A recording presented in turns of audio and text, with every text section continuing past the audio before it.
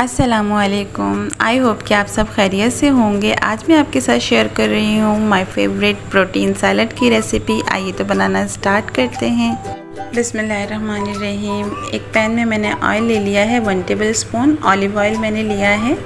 अब मैं ऐड कर रही हूँ इसमें एक कप बॉयल किए हुए चने वाइट वाले। आप चाहें तो ब्लैक भी ले सकते हैं।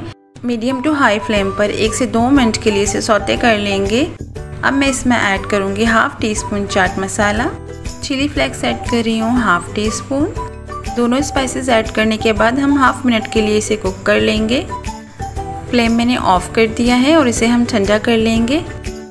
यहाँ पर मैंने एक सर्विंग बाउल ले लिया है, इसमें हम इसको सैम्बल करेंगे। तो यहाँ पर चने जो है वो मैं इसमें ऐड कर रही हूँ। और साथ ही हम कुछ वेजिटेबल्स यूज़ करेंगे, जिसको मैंने पहले से कटिंग करके रख लिया है। तो यहाँ पर मैं कैबेज ऐड कर रही हूँ हाफ़ कप के बराबर। तीन अदद मैंने चेरी टमाटोज़ लिए हैं और उसको मैंने फोर पीसेस में कट कर लिया है, इसे भी हम ऐड कर देंगे। एक अदद कुकम्बर लिया है, इसको भी मैंने कटिंग कर लिया इसे भी हम ऐड कर देंगे। अब हम इसमें ऐड कर रहे हैं अनियन दो मीडियम साइज़ के लिए थे मैंने और स्लाइस में कटिंग कर लिया है। एक लेमन ले लिया है, इसका जूस ऐड कर देंगे। फ्रेश कॉरिएंडर ऐड करेंगे चॉप किया हुआ टू टेबल स्पून स्लाइस में कटा हुआ जिंजर ऐड करेंगे वन टीस्पून अब मैं इसमें ऐड करूँगी एक रेड चिली, उसको मैंने चॉप कर लिया है।